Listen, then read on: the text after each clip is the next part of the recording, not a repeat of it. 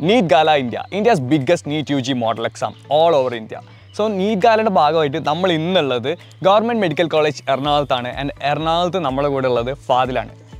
ഫാദിൽ ഫാദിലിന്റെ കാര്യത്തിൽ ഒരു സ്പെഷ്യാലിറ്റിയും കൂടി ഉണ്ട്. നീറ്റ് എഴുതാൻ പോകുന്ന കുട്ടികൾക്ക് ഒരു ഇൻസ്പിറേഷനും കൂടിയും ആൻഡ് പുതിയൊരു ഇൻഫർമേഷനും കൂടി ആയിരിക്കും.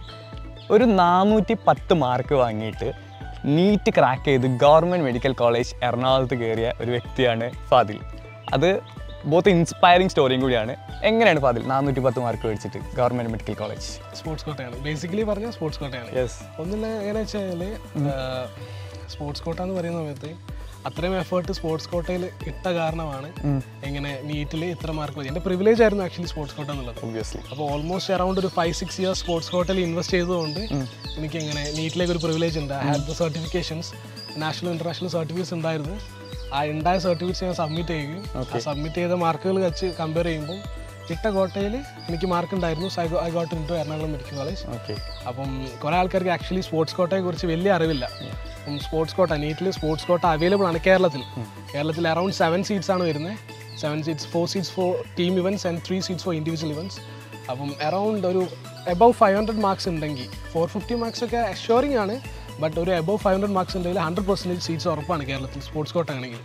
So you will have to have around ഒരു നാഷണൽ അല്ലെങ്കിൽ സ്റ്റേറ്റ് സർട്ടിഫിക്കറ്റ് സ്റ്റേറ്റ് ഫസ്റ്റ് എടുത്ത സർട്ടിഫിക്കറ്റോ അല്ലെങ്കിൽ ഒരു നാഷണൽ പാർട്ടിസിപ്പേഷൻ സർട്ടിഫിക്കറ്റ് ഉണ്ടെങ്കിൽ ദാറ്റ്സ് മോർ ദാൻ ഇനഫ് അല്ലെങ്കിൽ ഡിസ്ട്രിക്ട് ഡിസ്ട്രിക്ട് സർട്ടിഫിക്കേഷൻ വാല്യൂ ഉണ്ട് but not enough okay so ഒരു നാഷണൽ പാർട്ടിസിപ്പേഷൻ മിനിമം ഉണ്ടെങ്കിൽ ദാറ്റ്സ് ഗുഡ് അപ്പം അതും അതിന്റെ കൂടെ ഒരു ഫോർ ഫിഫ്റ്റി മാർക്സ് കൂടെ ഉണ്ടെങ്കിൽ most probably you'll get into some medical college in Kerala okay അപ്പം ഒരിക്കലും സ്പോർട്സ് കോട്ടയെ കുറിച്ച് പറയുമ്പം നീറ്റിന് കയറാൻ വേണ്ടി സ്പോർട്സ് ട്രൈ ചെയ്തത്.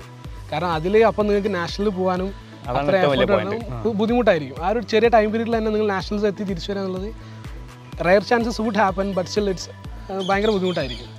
അപ്പം നിങ്ങൾ ഓൾറെഡി മാർക്ക് ഉണ്ട്.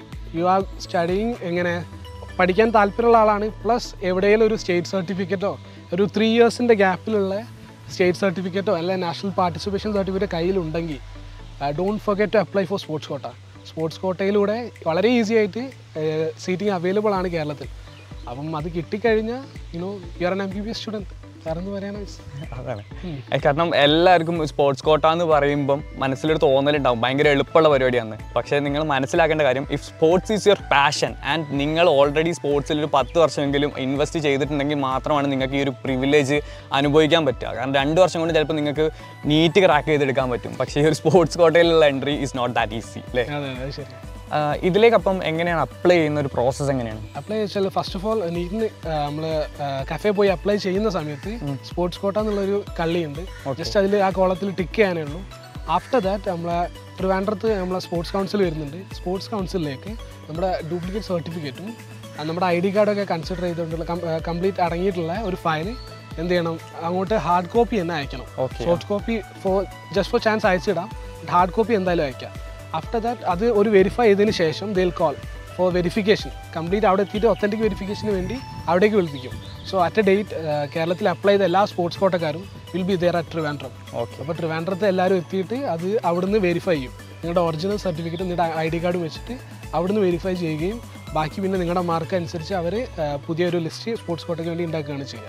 അപ്പോൾ അങ്ങനെയാണ് ആപ്ലിക്കേഷൻ വരുന്നത്. സോ ഇത് നിങ്ങൾക്ക് ഭയങ്കര ഇൻഫോർമേറ്റീവ് ആയിട്ടുള്ള കാര്യമായിരിക്കും എന്ന് വിചാരിക്കുന്നു.